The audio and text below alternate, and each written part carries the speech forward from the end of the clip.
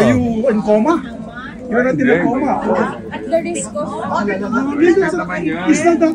You know, under Senator. Soto, hindi Huwag na ganun. pare. Pastusan na tayo dito eh. Nire-respeto Don't, kita. don't do that. Don't do that to yourself. Are you in coma? You're not in a coma. at the risk of It's not It's not that. You know, under Senator. Soto, hindi Huwag na ganun. pare. Pastusan na tayo dito eh. Nire-respeto Ah, kita. Pinipigilan na siya ng ibang mga senator eh. Etong, ah, kasi nagsasalita doon yung Senate si Subiri. Ayaw niyang payagan. Alam mo, yung mga ibang senador ang nagtatanggol kay Bong Revilla. Sinasabi, sandali, pintindihin naman natin ito. Ah, eh kasi ang dahilan daw ni Subiri, naka-attend ka nung isang event, eh bakit di ka maka-attend dito sa Senate? Eh sinasabi nga ho nila, dahil doon sa event na inatinan niya, namaga yung paa niya. Okay? So, pumunta pa rin si Bong Revilla. Nagpunta pa rin siya. Okay? Tapos, nung pagpunta niya, sinabi niya na kung pwede yung susunod para gumaling. Kasi habang, habang iginagalaw mo yan, namamagana namamagayan, ibig sabihin, lalong tatagal yung healing process niya. Lalong tatagal yung paggaling. Kaya nga, kesa na itulog mo ng isang halimbawa, pag may sakit ka, itutulog mo ng isang malupitang tulog para gumaling ka na. Kesa dun sa hindi ka natutulog, tuloy-tuloy mo pa rin yung trabaho mo. Lalong hindi gagaling. So nagpunta na nga siya diyan para ah, ipakita na willing naman ako pumunta, pero yung mga kapwa senador niya ang nagsasabi na wag na natin munang paatinin ito dito, pwede naman siyang i-zoom. Ngayon, parang na, parang napikon ata ito si Subiri na parang nagdi-disagree sa kanya yung ibang mga senador.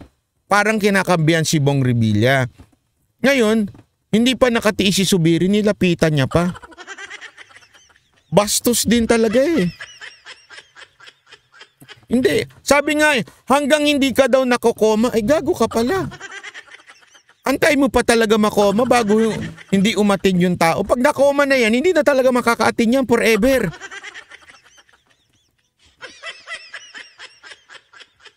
So yun lang ba ang dahilan nun? Kailangan makoma pa yung tao para hindi siya makaatin? Pag nakoma yan, wala na yan. Dapat nang palitan yan. Hindi na yan capable na maging senador kung nakoma yan.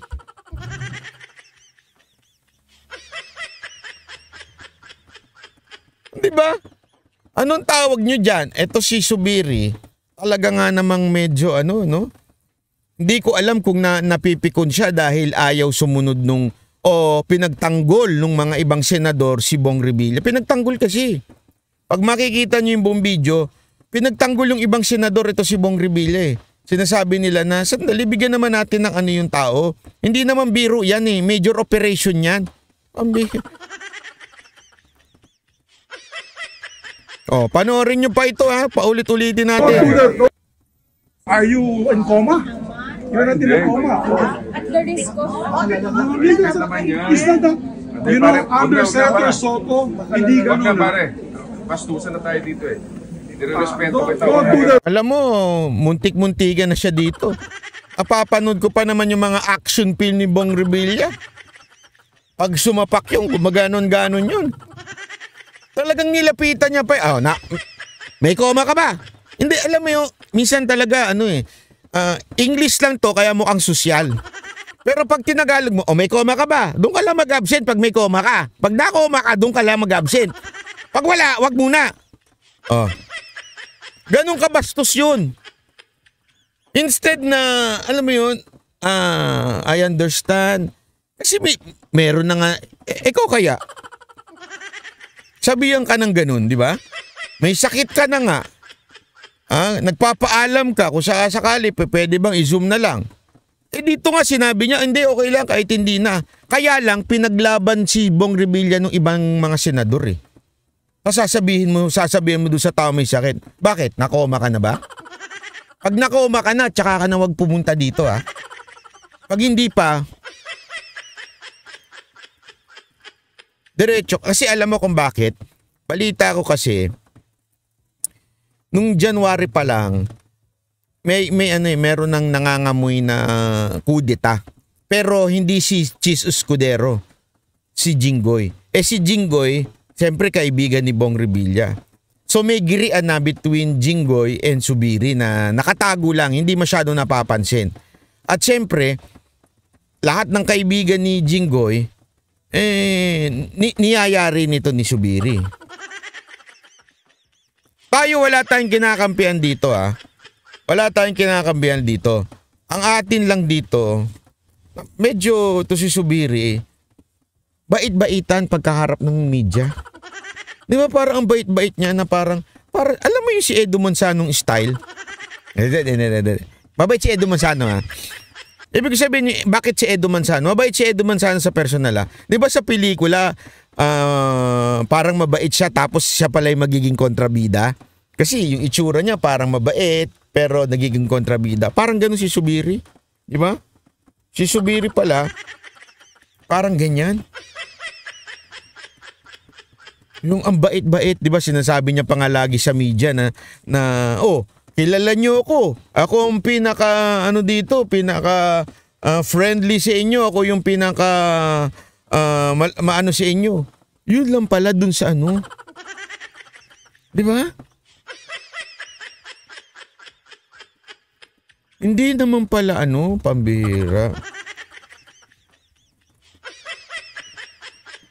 Sabi nito, kahit saan paikot-ikutin, mali si Subiri. Oo, mali talaga. O sabi nito, wag na si Edo Manzano, si Paulo Contis na lang. Ang sample. Hindi. Pasensya na, hindi ko kasi kapanahunan si Paulo Contis eh. Kapanahunan ko yung mga panahon nila Eddie, ah, Eddie Garcia, sila Edo Manzano. Si Edo Manzano magaling yan pagka naging bida, parang ang bait, di ba? Pero pag naging kontrabida yan, eh may pelikula si Edo Manzano at si Bong Revilla eh. parang na, na kung saan si Edo Manzano eh kontrabida, oh, tapos eh si Bong Revilla yung bida. Grabe, no? Oh. Panoorin ba natin? Are you in coma? You're not in a coma. At the risk of Alam mo, buti nga, tinan nyo, buti nga dito sinabi na ni Bong Revilla, eh, tama na, tama na. Ha, nakakabastos ka na. Instead na sinagot niya na, antay mo pa ako makoma bago ano? Abay putang ina. Ganun na pala dito. Kailangan mo nang makoma ako. Ano to? Eh buti nga hindi humirit yan eh. Eh asa na yung ano? Yung 12 billion. Balita pa nga namin 15 billion eh. Yung 12 billion napunta sa Comelec. Buti hindi siya umirit ng ganun ano. Buti na lang.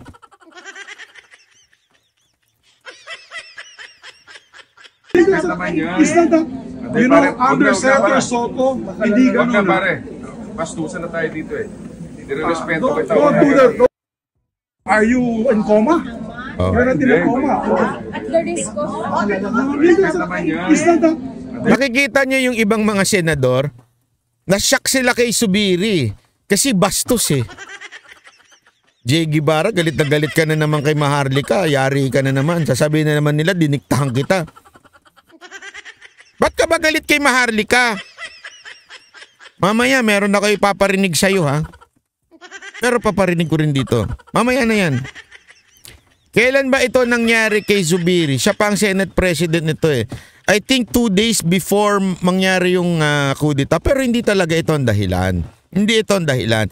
Kaya lang lumabas ito ngayon. Nag, nag-trending tong video na to. Kasi nga po, yung iba yung pinapakitang mukhang mabait si si ano si Subiri sa publiko pero hindi ba may paiyak-iyak pa bayani pa siya. Hindi naman pala ganun ang tunay niyang kulay pag nasa Senado. From Edo Manzano, nagiging Paulo Contis daw.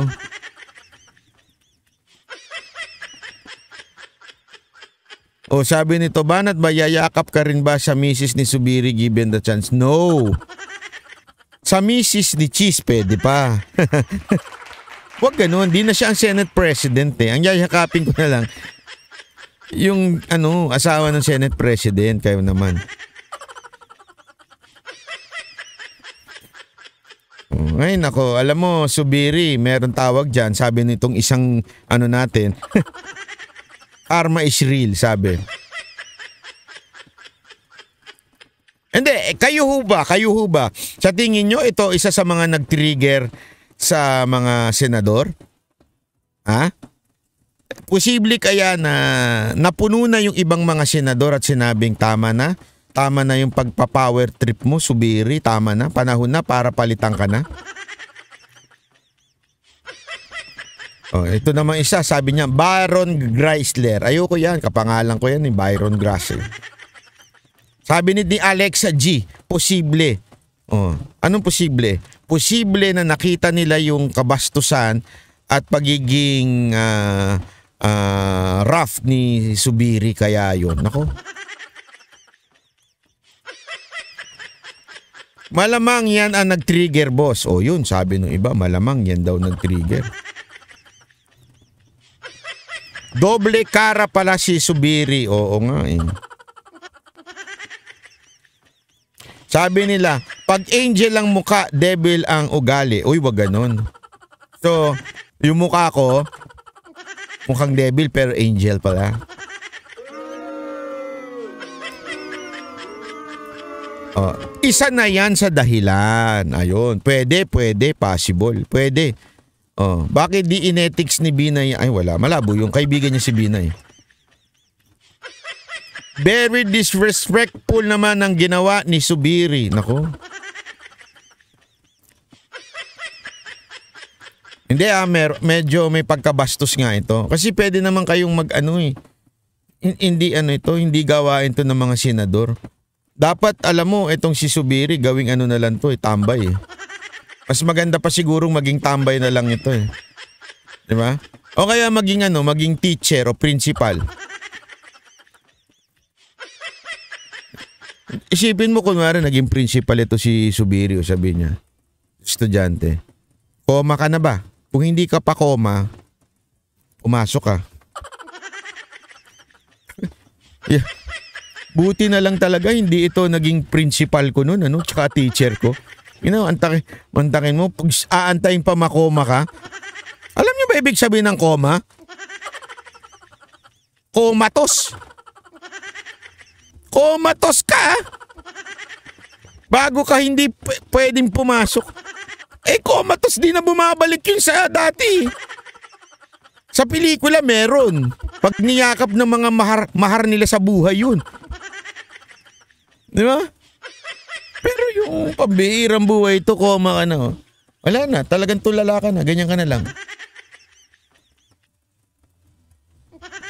Pwede ka nang hindi umattend. Gago, hindi ka na dapat maging senador nun. Di ba?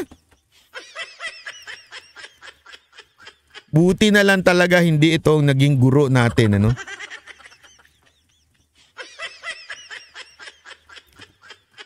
Ay, nako, pambihira.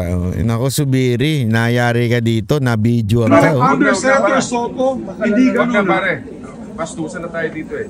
Nirerespeto Don't, kita. don't do that. Don't- Are you in coma? You're not in a coma. Natawa na si Senator Amy dun eh. Oh, oh. Sabi ni Senator Amy, ay na, wag to maging presidente. Pag ito naging presidente, mantakin mo, bawal kang umabsent hanggang hindi ka nakokoma. Sa tingin ninyo, kung naging presidente ito, paano kaya si ano, si Remulla? Sabihin niya si Remulla, nako, maka na ba? O pumasok ka.